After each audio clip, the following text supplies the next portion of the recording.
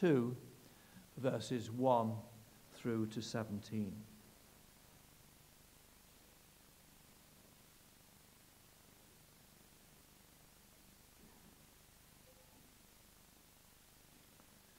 Let us hear the word of God. In those days, a decree went out from Caesar Augustus that all the world should be registered. This was the first registration when Quirinius was governor of Syria. And all went to be registered, each to his own town. And Joseph also went up from Galilee, from the town of Nazareth to Judea, to the city of David, which is called Bethlehem, because he was of the house and lineage of David, to be registered with Mary, his betrothed, who was with child. And while they were there, the time came for her to give birth. And she gave birth to her firstborn son, and wrapped him in swaddling cloths, and laid him in a manger, because there was no room for them in the inn. And in the same region there were shepherds out in the field, keeping watch over their flock by night. And an angel of the Lord appeared to them, and the glory of the Lord shone around them, and they were filled with great fear. And the angel said to them, Fear not, for behold, I bring you good news of great joy that will be for all the people.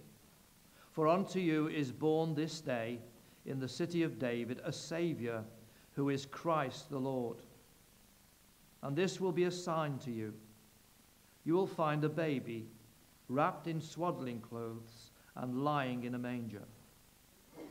And suddenly there was with the angel a multitude of the heavenly host, praising God and saying, Glory to God in the highest, and on earth peace among those with whom he is pleased.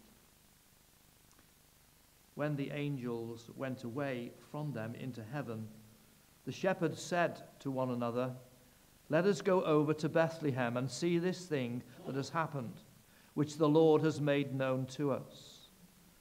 And they went with haste and found Mary and Joseph. And they found the babe lying in a manger. And when they saw it, they made known the saying that had been told them concerning the child. So reads God's word to us. Let us hear the word of God once more. Now, after Jesus was born in Bethlehem of Judea in the, in the days of Herod the king, behold, wise men, men from the east came to Jerusalem, saying, Where is he who has been born king of the Jews? For we saw his star when it rose, and have come to worship him. When Herod the king heard this, he was troubled and all Jerusalem with him. And assembling all the chief priests and scribes of the people, he inquired of them where the Christ was to be born. They told him, In Bethlehem of Judea, for so it is written by the prophet. And you, O Bethlehem, in the land of Judah, are by no means least among the rulers of Judah, for from you shall come a ruler who will shepherd my people Israel. Then Herod summoned the wise men secretly and ascertained from them what time the star had appeared. And he sent them to Bethlehem, saying, Go and search diligently for the child. And when you have found him, bring me word that I too may come and worship him. After listening to the king, they went on their way, and behold, the star that had seen, they had seen when it rose went before them until it came to rest over the place where the child was. When they saw the star, they rejoiced exceedingly with great joy. And going into the house, they saw the child with Mary his mother, and they fell down and worshipped him. Then, opening their treasures, they offered him gifts gold, and frankincense, and myrrh. And being warned in a dream not to return to Herod, they departed to their own country by another way. So reads God's word. Now, before Vinny comes and speaks to us, uh, we're going to sing another carol.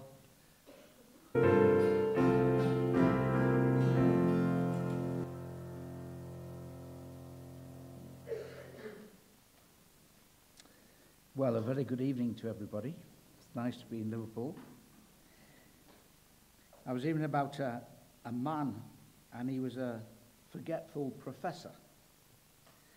And he was moving house. So his wife said to him, George, when you come back from work tonight, do not come to this address. We will have moved. So go to the new one. Yeah, yeah yes, yeah, okay. Well, five o'clock, there's a fellow walking up the drive, wondering where all everybody is. And he turned to a young lad who was there and he said, Hey, young man, he said, Do you know where the family are who used to live in this house? And the lad said, Dad, my mum told me that you get it all wrong. now, I don't want you to forget this evening this great um, message from God's Word. It's His Word. And we're simply going to look at lessons from the birth of Jesus. And it's Billy Graham who once said, There comes a time when another voice takes over. So let's just ask heaven to speak through God's word. Heavenly Father, I would like you to speak to me. I ask this in Jesus' name. Amen. Amen. Well, we're looking at the greatest person who's ever lived. It says here, Luke 2. And it came to pass in those days that a decree went out from Caesar Augustus that all the world should be registered. This census took place when Quirinius was governing Syria. So all went to be registered, everyone to his own city, and Joseph also went up from Galilee, out of the city of Nazareth, into Judea to the city of David, which is called Bethlehem. He was of the house and the lineage of David. The first lesson that we get from this passage, ladies and gentlemen, is this man, Joseph, was engaged to Mary. And then the big circumstance was there was going to be a count up. Now, why would the Romans want a count up? Well, of course, they had to collect the taxes and pay for the facilities, and they would be a very forward thinking outfit. And so we needed to know, well, one reason, how much money we had and what we could afford. And in the circumstance that they found themselves, what was interesting was this was to be the fulfillment of a prophecy thousands of years earlier. Because Micah had said the Messiah would come out of Bethlehem. I checked today how far Bethlehem's journey was for them. And the answer is 91 miles. So when that decree was sent, go to the place where of your birth to be counted up, they had to travel 91 miles. And in doing so, they didn't probably know it, or maybe they did. They were fulfilling this great prophecy of Micah thousands of years earlier that out of Bethlehem, 91 miles away, would come the child. When you work through the prophecies on the life of Jesus, there's well over 250 messianic ones. Some of them are staggering. A man said to me once in the open air, well, all Jesus did was read them and, you know, fit in. Oh, really?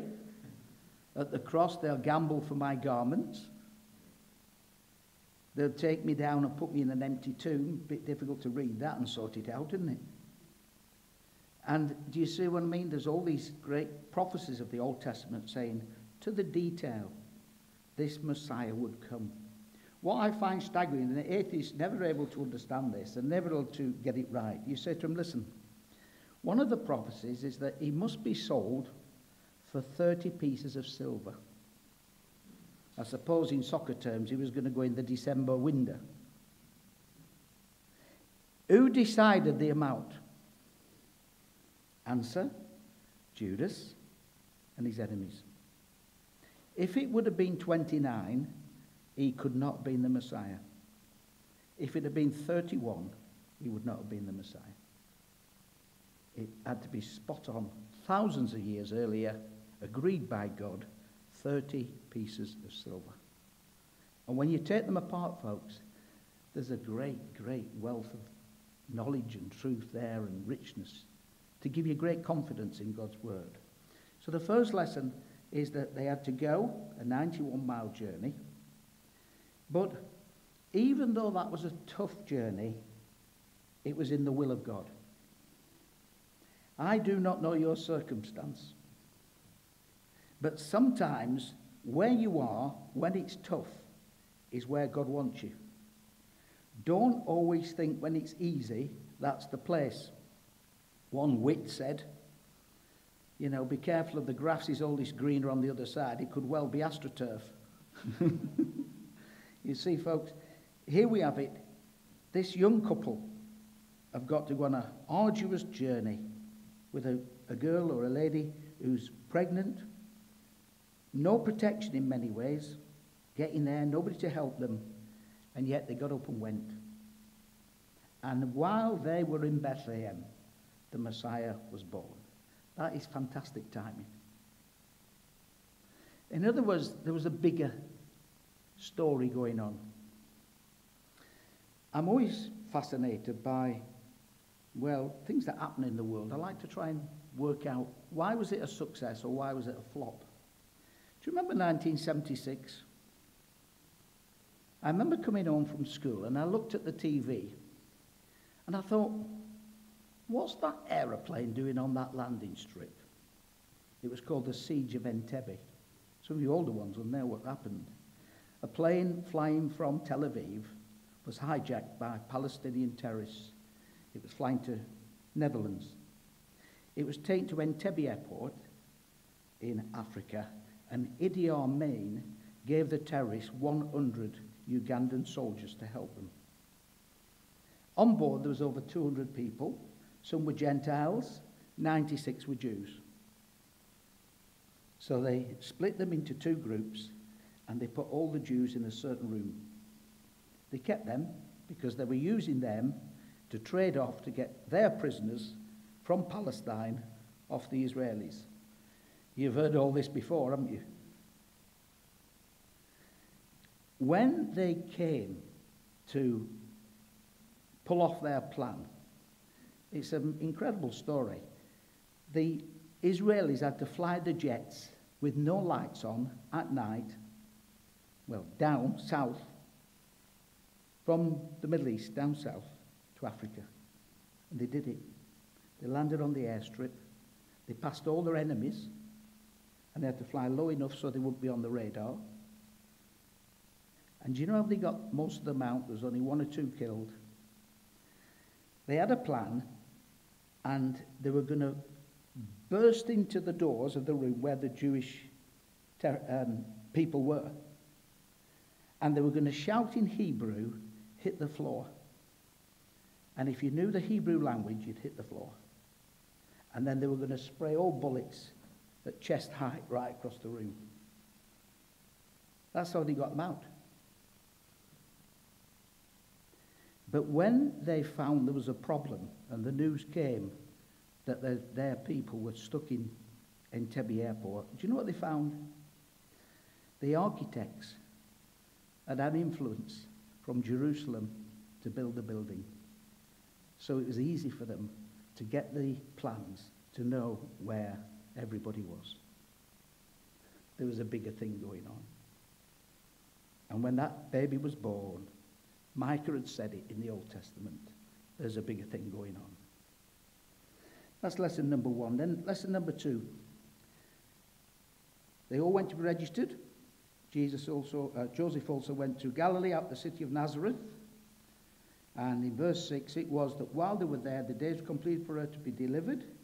She brought forth her firstborn so wrapped him in swaddling clothes, laid him in a manger because there was no room for them in the inn. Now, that little phrase, there is no room for them in the inn, could be an epitaph for Jesus' life. There was no room at the inn. There was no room amongst his people. He came to his own. His own did not receive him, John 1. There was no room for him in Jerusalem, the place of worship. He had to make a whip and turn out the money changers. And there was no room in the Gentile hearts. And there's no room today for Jesus. Is there room in your life?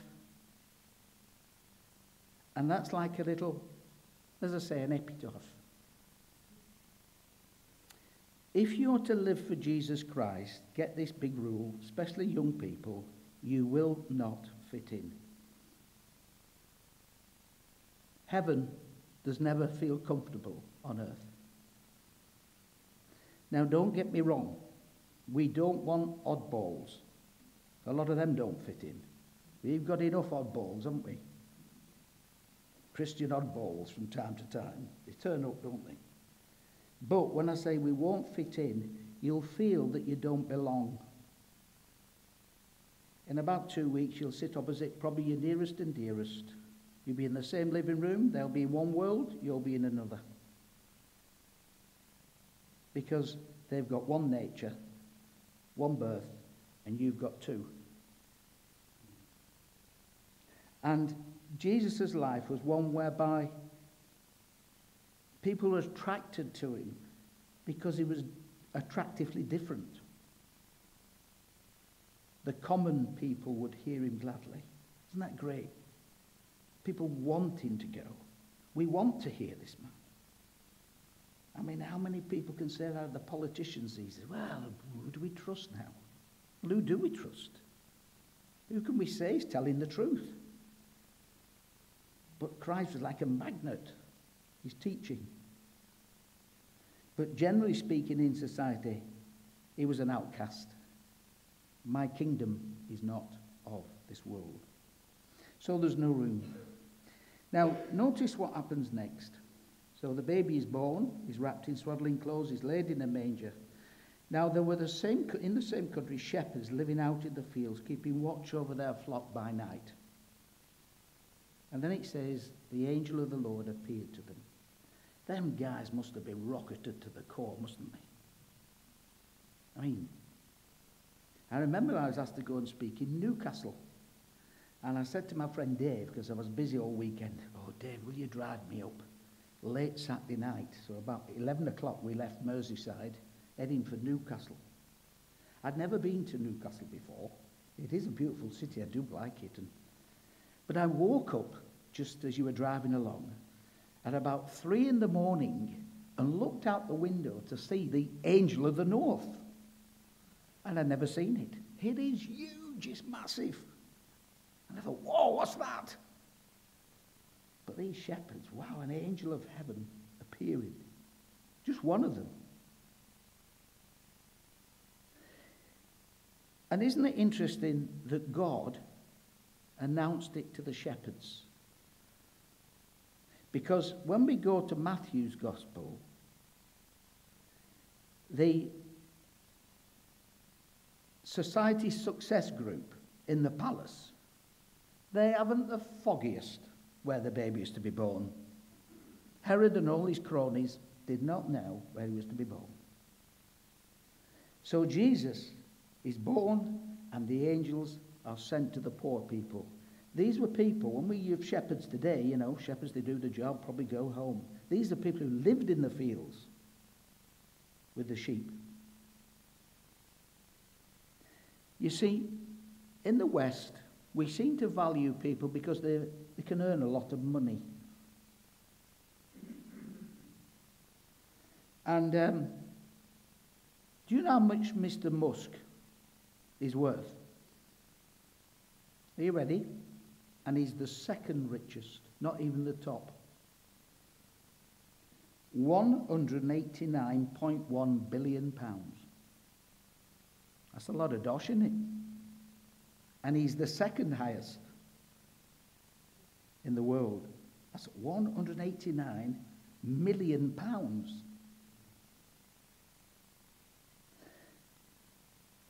But God came to these poor people.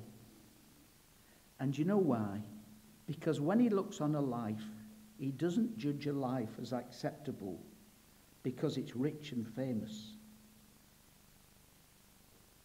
You see, when Jesus was on the cross, he didn't pay any more pain for Cliff Richard than for Joe Bloggs.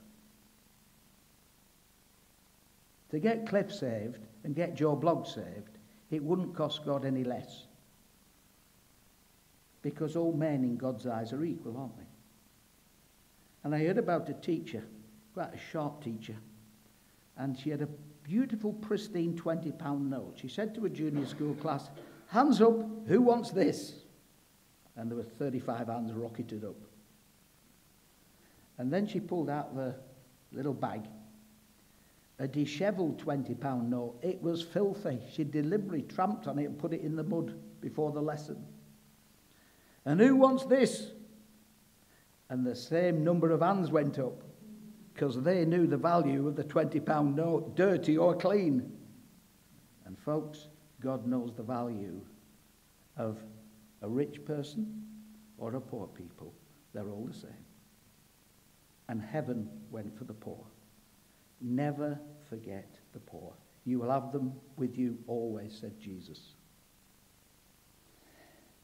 And then notice what they said to these shepherds Do not be afraid, I bring you good news. Now, if you'd have turned your telly on at six o'clock tonight, you'd have got the six o'clock bad news. Don't wish to depress you, but if you go home and turn it on at 10, you'll get the 10 o'clock bad news because what we need is good news. And, folks, for good news to be good news, it must sound like good news. You know, somebody I was in the shop the other day and the fellow was buying a lottery ticket, and I thought, I haven't won the lottery for 40 years. I wonder why. you probably can work out why. But if I did win the lottery, I would go, oh no, I won the lottery. There'd be a something in my voice with a cry of joy, wouldn't there? I'm not recommending the lottery unless you choose the hymn numbers. You might win the Christian lottery. I don't know. That'd be an interesting one. But here we are, folks. For good news to be good news, it must sound like good news. But you see, it can only be good news if you've seen the child, if you've seen the baby. Because when these shepherds then went to that spot and found that baby, it said, when they saw the child, they went everywhere telling everybody. Unless you get a glimpse of Jesus, you won't have any good news to share. You'll only have good news on earth. Given time, it will collapse. But heaven's news is eternal and it's great news.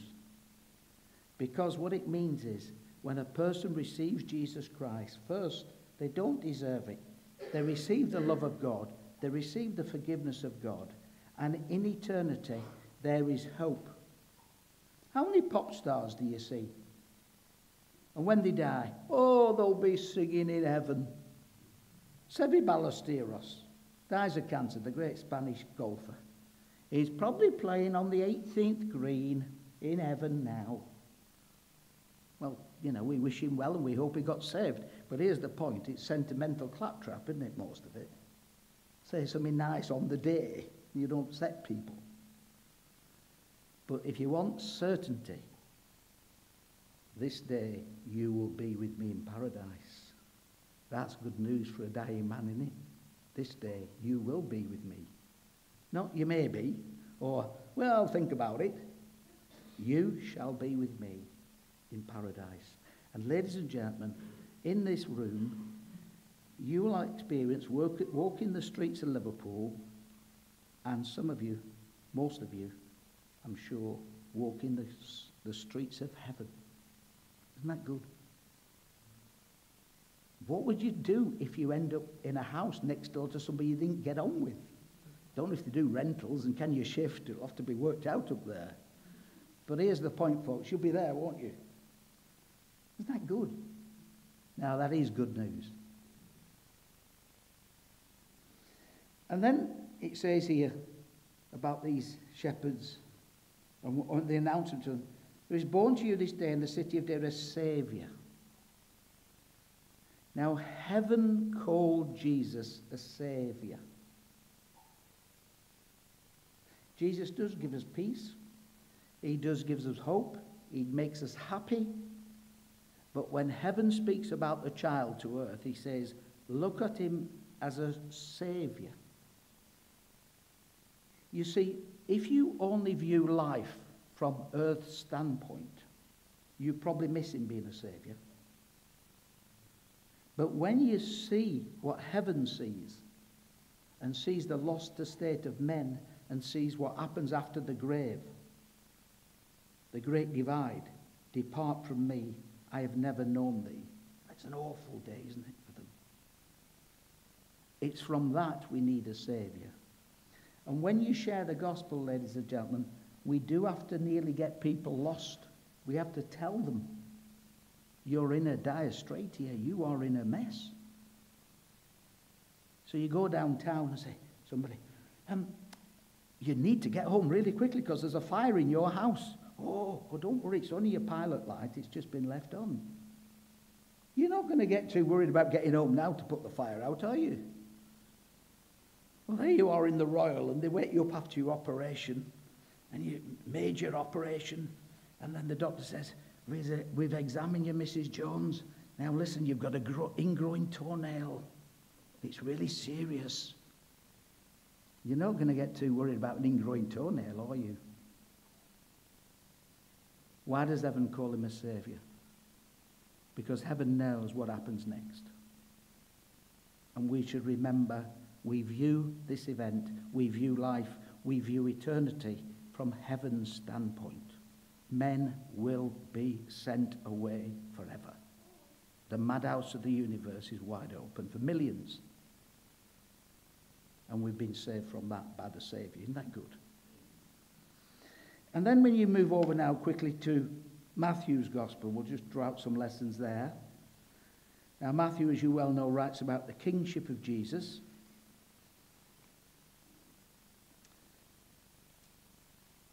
Jesus was born in Bethlehem of Judea in the days of Herod the king. Now, there was two Herods. There was a Herod when Jesus was born, and there was a Herod at the death of Jesus. There'd been a switchover. And this is Herod. And it says, Where is he born king of the Jews? I don't, I can't quite remember how old Prince Charles was when he was crowned. What, 75, 76? But they didn't say of Charles 76 years ago, here's Charles born King of England, did they? He wasn't born a king. He was waiting in the wings but here's the baby born king of the Jews. He only had to show up to be king. And they said, Where is he born, king of the Jews? We have seen his star in the east and have come to worship him. Now, these men who were wise, I suppose you could probably sit down and think, well, academically, you know, would they get about 50 A levels or something? Or would they end up at Oxford or Cambridge or somewhere? But I think it's more a case they were men of studying the stars. And they knew that when that star appeared and the Messiah would be born, and that star did appear, and then they said, right, if he's going to be king of the Jews, what's the most logical city to go to? You know, a king, a king is born, or a child is born to royalty in London, because that's where the palace is, yeah? So we go to London, and it's in the UK. Now, my point I'm making is this they probably just thought this is a Jewish delivery. The Messiah would come out of Judaism, so let's go to Jerusalem. But for them, that was a massive journey as well. But it says, We have come to worship him. So their heart was to worship this child. And you find in society lots of people worship. Try and just find my little story here. A few years ago in the Liverpool Echo, there was a headline Meet the die-hard Liverpudlian fan, Liverpool fan, taking the longest possible trip of 24,000 miles to watch his team. So the lad lived in Frodsham, but he was doing some studies in Brisbane, Australia, and his mum lived in Frodsham. His mum was called Alison. They bought him a £1,950 ticket to see Liverpool play Real Madrid in the European Cup final or the Champions League final. Sorry if you're a red, you got beat 3 1. Okay? This is what he, his mum said. My son has always been obsessed with Liverpool Football Club since a child.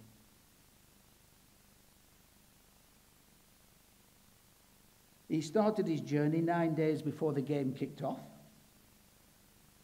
He went through five countries three flights, a train, and a 14 hour coach journey. His name was Matthew Sinano.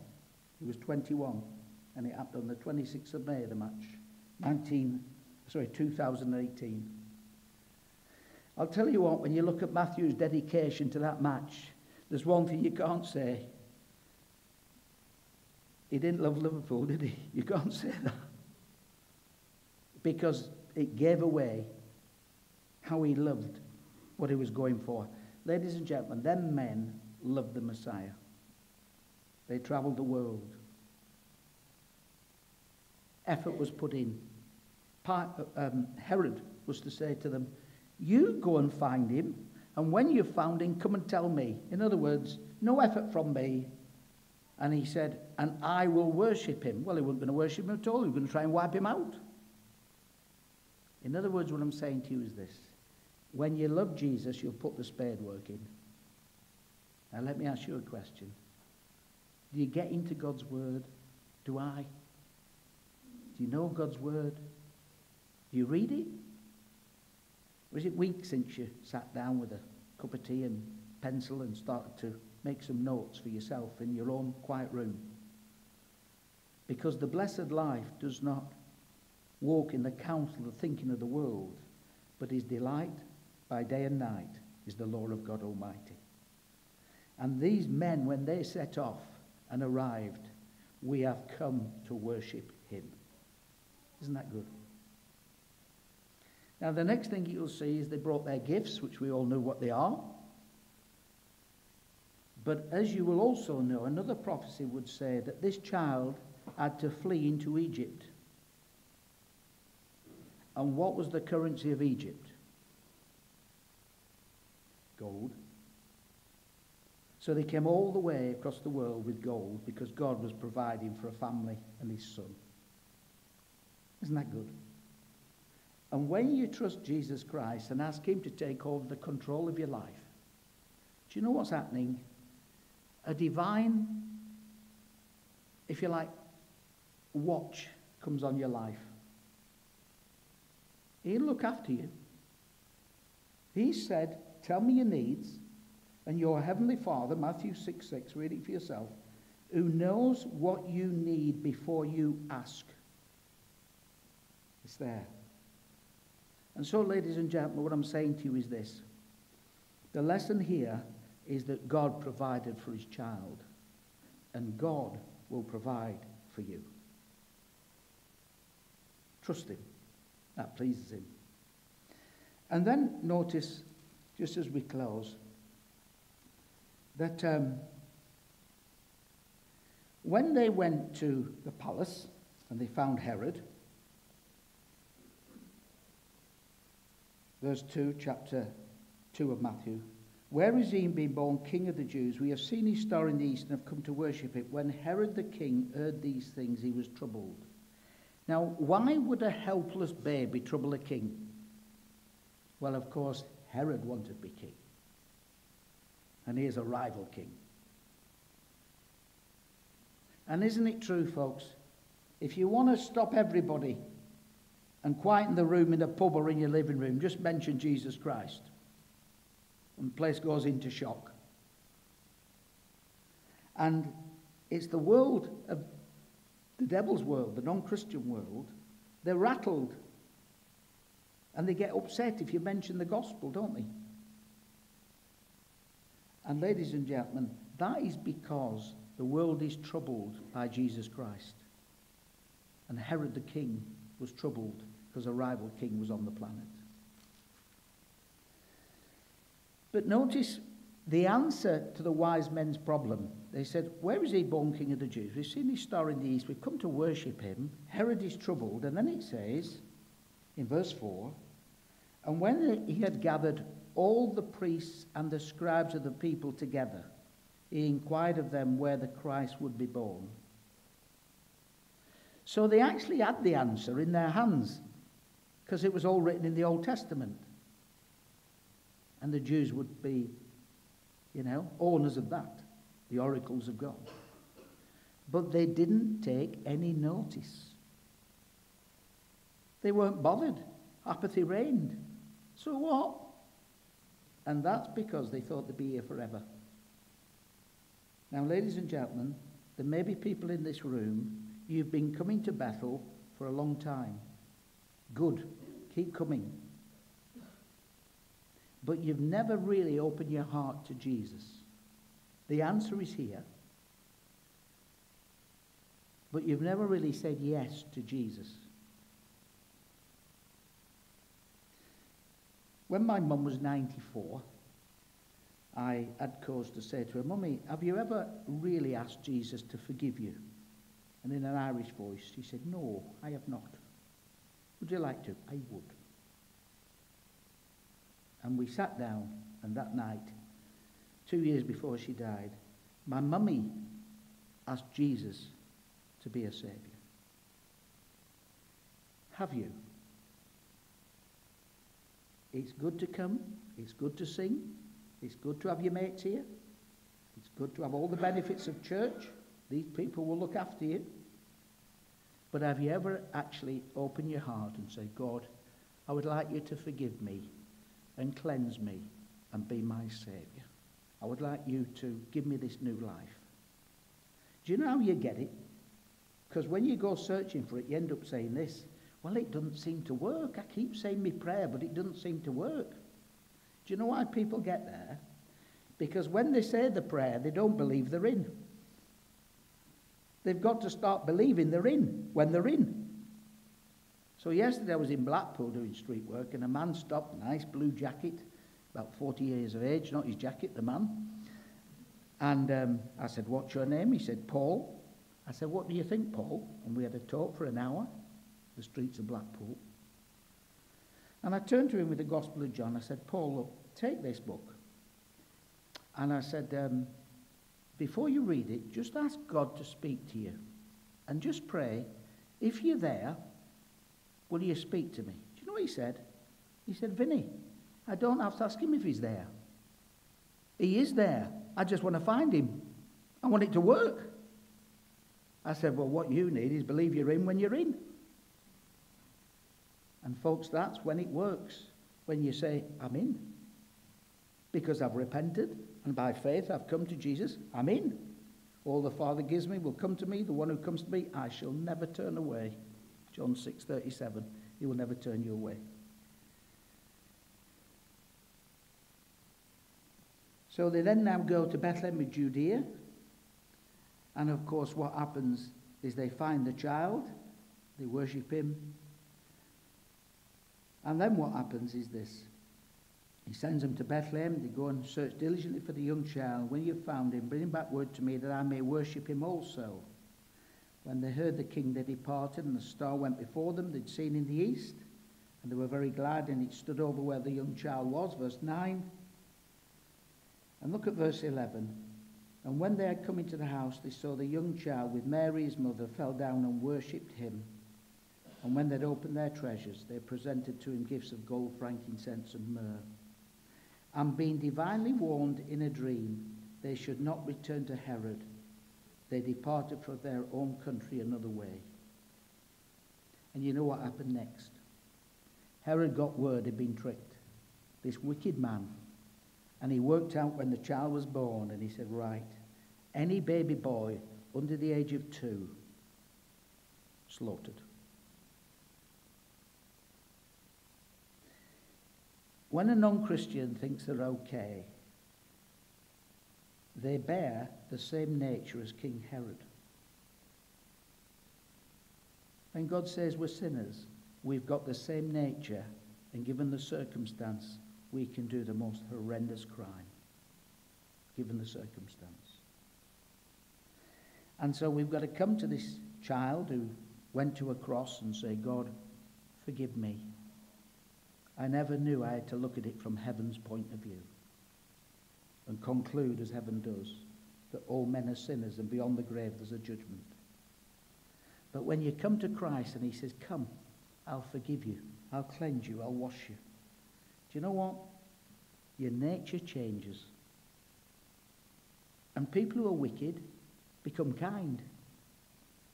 And people who are in prison become favourable and helpful. And people who used to rob become givers. And people who are drug pushers have a heart for other people. And do you know what it means is society all bucks up. The place gets good. But men left to their raw, natural self, give them time, and it can be horrendous. Never forget, Adolf Hitler was once a choir boy. And so there's a few lessons from the birth of Jesus. But I just want to close by saying this.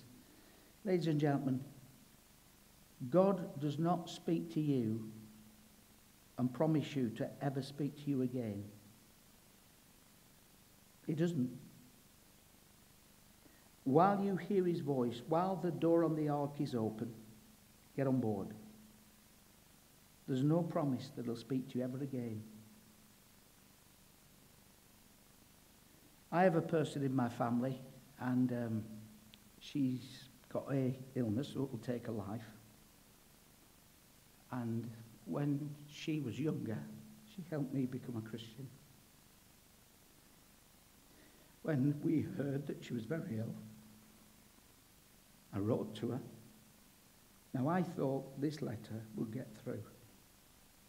And here's a prayer that Dad prayed to help you to be in the kingdom because she'd fallen away for many years. And I put in there in an envelope with my address on and a stamp on. And I said, when you make this your prayer, just send the envelope back. Nothing in the envelope, but when you make it your prayer, send the envelope back. Because I wanted to know she'd be safe. So the day came about a week later, the envelope came back. I ran downstairs, picked it up. Never speak to me about this again. Do you think God will speak to you every day? Kind of him to speak tonight. While you hear his voice, do not harden your heart. We'll stand and sing a lovely hymn. Hark the herald angels sing.